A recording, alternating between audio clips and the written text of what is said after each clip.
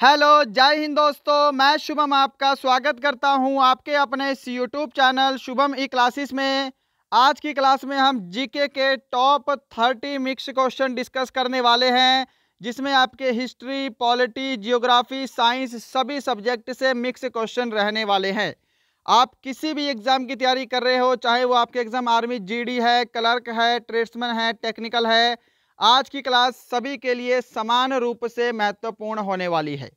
तो अपना साथ साथ टेस्ट भी लगाइएगा। इन तीस प्रश्नों में से यदि आपके ट्वेंटी फाइव प्लस क्वेश्चन ठीक होते हैं तो समझना कि आपकी तैयारी बहुत ही बेहतरीन है। आप बिल्कुल सही ट्रैक पर जा रहे हैं। तो चलिए अपनी क्लास शुरू करते हैं। क्लास हमारी हिंदी और इंग्लिश दोनों ही लैंग्वेज में होने वाली है।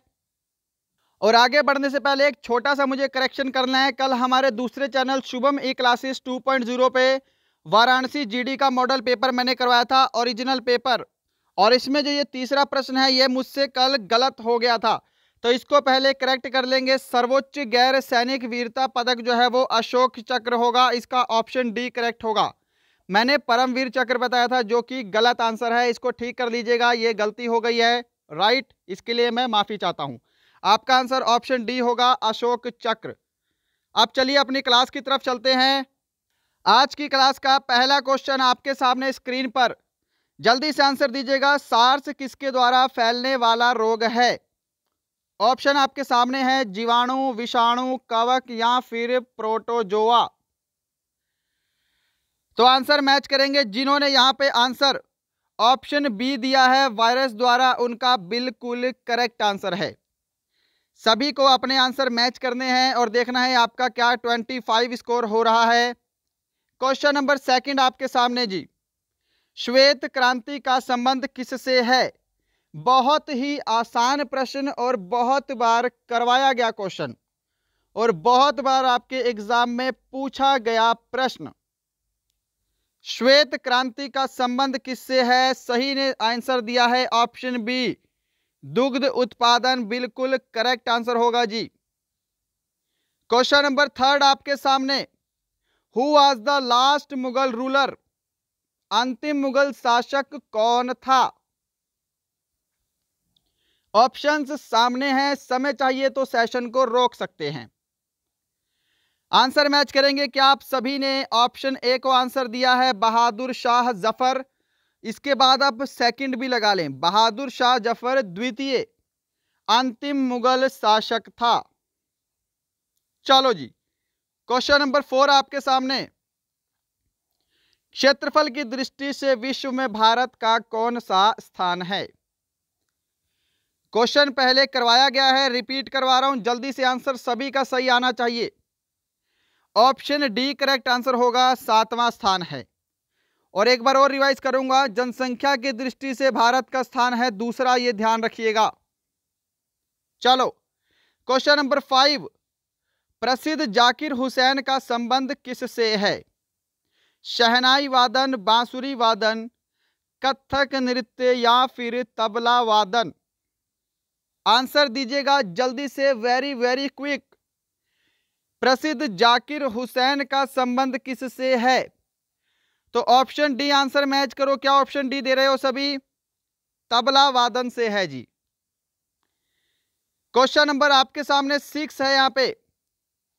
Which canal connect the Red Sea and the Mediterranean Sea कौन सी नहर लाल सागर और भूमध्य सागर को जोड़ती है?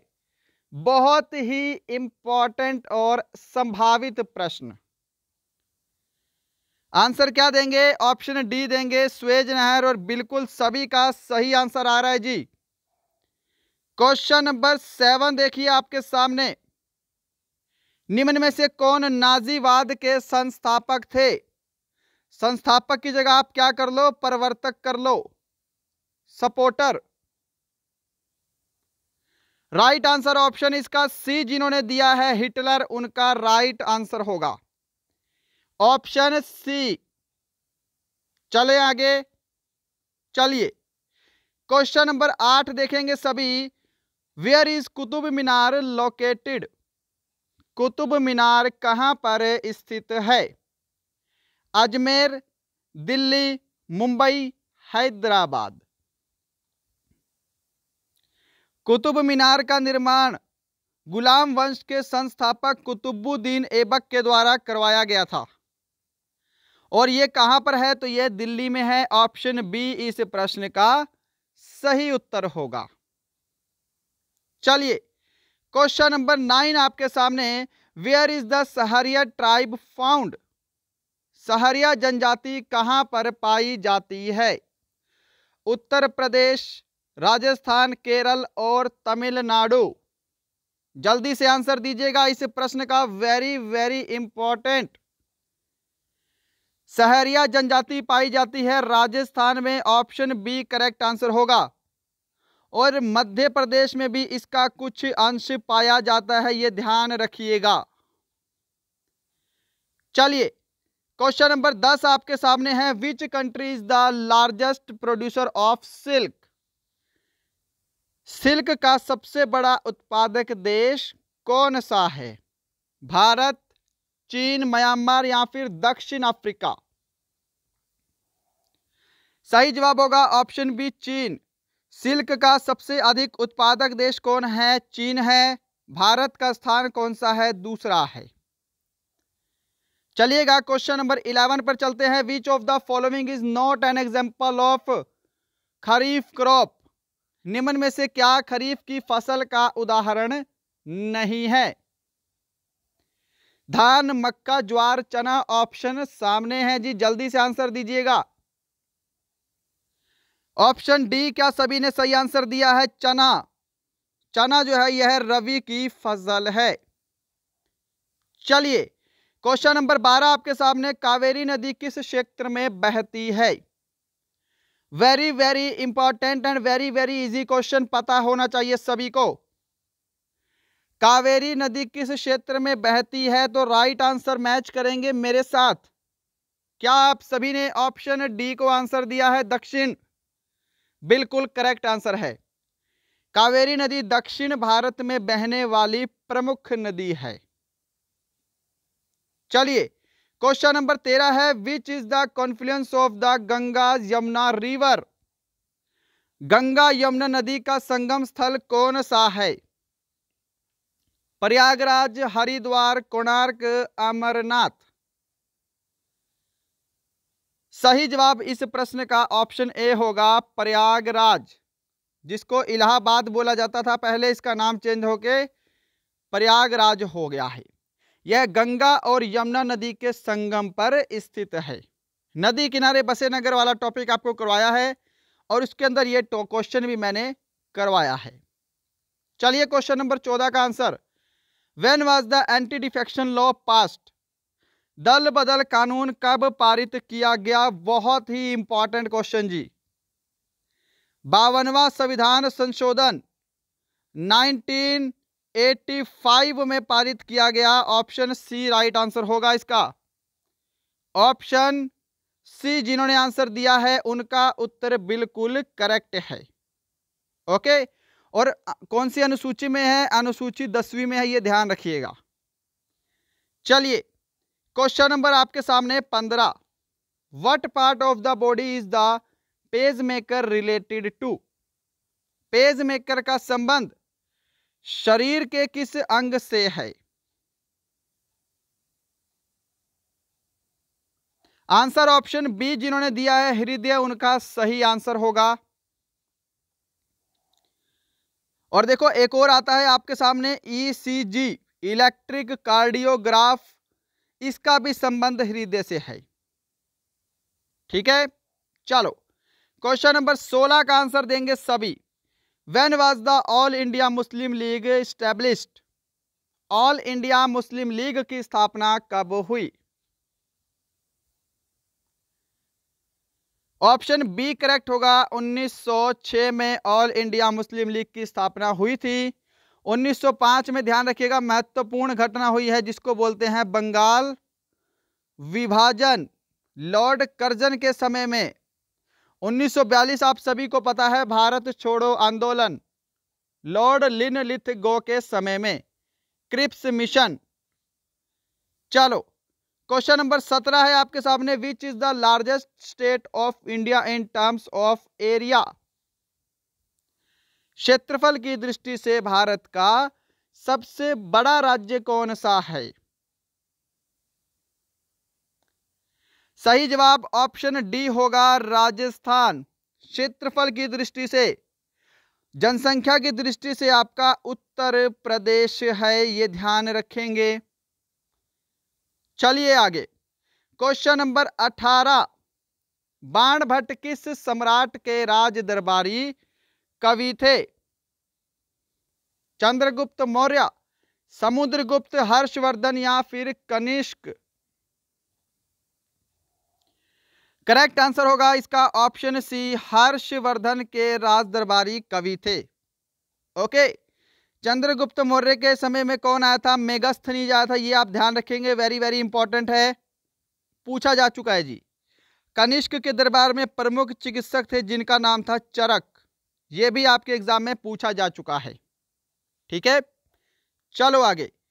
क्वेश्चन नंबर 19 का आंसर जल्दी से देंगे। भारत के राष्ट्रगान के अलावा रविंद्रनाथ टैगोर ने किस देश का राष्ट्रगान लिखा है? सभी का आंसर पहली बार में सही आना चाहिए। राष्ट्रगान का नाम है अमार सोनार। अमार सोनार, बांग्ला। अब जैसे ही बांग्ला आया, आपका आंसर आ जाना चाहिए बांग्लादेश। चलिए आगे क्वेश्चन नंबर ट्वेंटी है आपके सामने। खुजराहो मंदिर किस वंश के शासकों ने बनवाए थे? वेरी वेरी इंपॉर्टेंट है, चोल वंश, चंदेल वंश, मुगल वंश, पांडे वंश।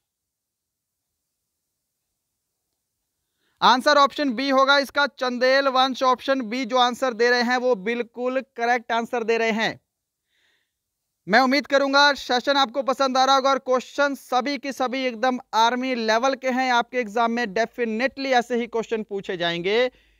ट्वेंटी वन अंग्रेज़ों द्वारा प्रथम व्यापार केंद्र किस स्थान पर स्थापित किया गया? अंग्रेज़ों द्वारा।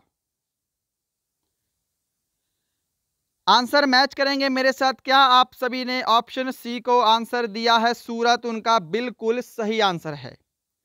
अंग्रेज़ों द्वारा पहली फैक्ट्री सूरत में ही स्थापित की गई थी। क्वेश्चन नंबर ट्वेंटी टू आपके सामने। चंद्र ग्रहण किस दिन देखा जा सकता है? जल्दी से आंसर दीजिएगा। अमावस्या के दिन, पूर्णिमा के दिन दोनों या फिर कोई नहीं? चंद्र ग्रहण देखा जा सकता है पूर्णिमा के दिन। ऑप्शन बी राइट आंसर होगा जी।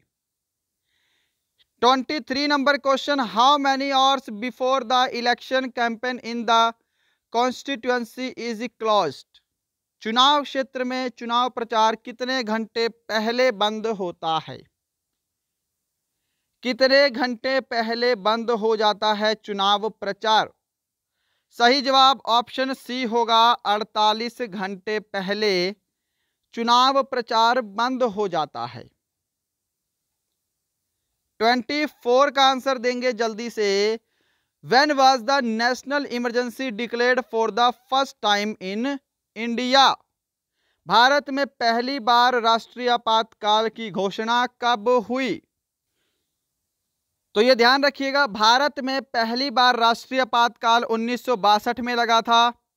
दूसरा आपातकाल 1971 में और तीसरा आपातकाल 1975 में। ये ध्यान रखेंगे, ये तीनों वेरी वेरी इंपॉर्टेंट है। आपसे दूसरा भी पूछ सकता है, आपसे तीसरा भी पूछ सकता है, आपसे पहला भी पूछ सकता है। ओके चलो, बढ़ते हैं नेक्स्ट क्वेश्चन पे। नेक्स्ट क्वेश्चन है आपके सामने ट्वेंटी फाइव किस संविधान संशोधन के तहत गोवा को एक राज्य का दर्जा दिया गया?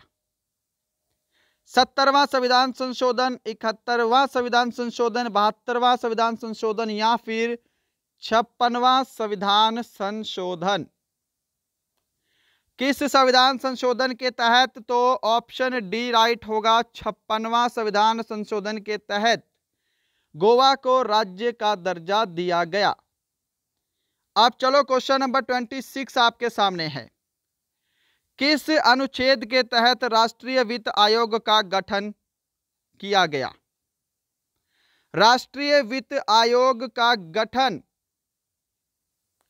ऑप्शन डी करेक्ट होगा इसका 280 अनुच्छेद के तहत।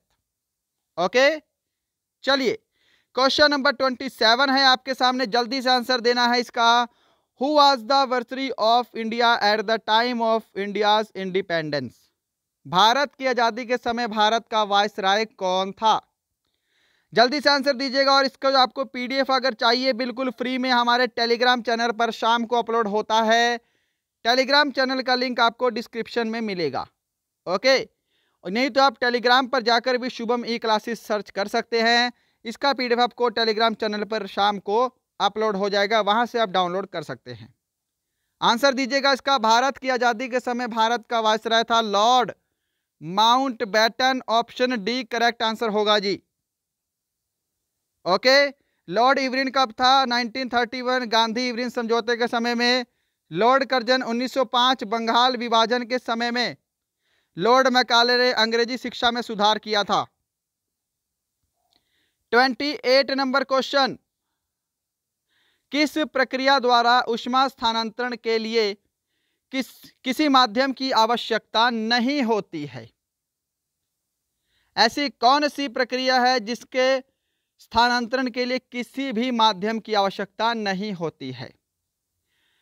संवहन, चालन, विकिरण, रूपांतरण। चारों ऑप्शन स्क्रीन पे हैं। सही आंसर होगा ऑप्शन सी रेडिएशन यानी कि विकिरण। ओके जैसे सूर्य का प्रकाश पृथ्वी पर पहुँचता है विकिरण विधि द्वारा, किसी भी माध्यम की आवश्यकता नहीं होती, निर्वात में भी वहन कर सकता है। ओके चलो। क्वेश्चन नंबर ट्वेंटी नाइन आपके सामने है what part is the small intestine छोटी आंत किस अंग का हिस्सा है? किडनी, फेफड़े, नाक, पाचन तंत्र। सही जवाब रहेगा इस प्रश्न का ऑप्शन डी, डाइजेस्टिव सिस्टम पाचन तंत्र। चलिए, क्वेश्चन नंबर थर्टी आपके सामने है। जल्दी से इस प्रश्न का आंसर देंगे सभी की सभी।